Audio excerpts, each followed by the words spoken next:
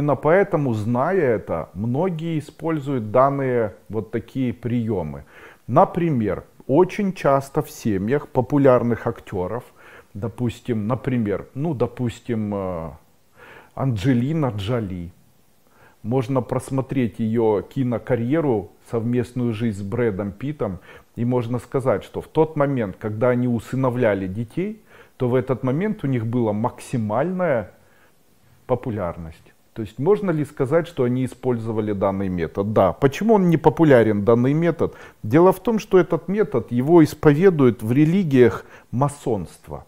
Поэтому он является таким скрытым, но очень часто именно в масонских ложах и среди масонов, в случае, если человек хочет славы, почета, везения, то он должен усыновить себе сына или усыновить дочку и усыновить в малом возрасте, но сделать так, чтобы этот ребенок никогда даже не подозревал, что он приемный. Относиться к этому ребенку необходимо лучше, чем к своим детям. Если так делать, если ребенок будет в это верить, то тогда жизнь будет великолепной. Тогда будет богатство, почет, успех и так далее.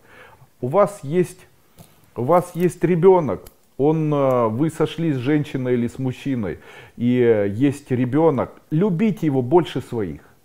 А самое плохое, что вы можете сделать, это ненавидеть. Ненавидите приведет вас к разрухе, бедностью и болезням.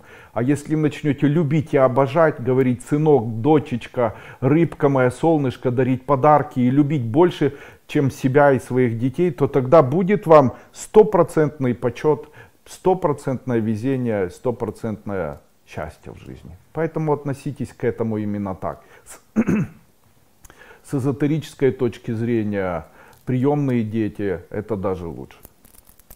не нужно вынашивать, не нужно рожать. Ну,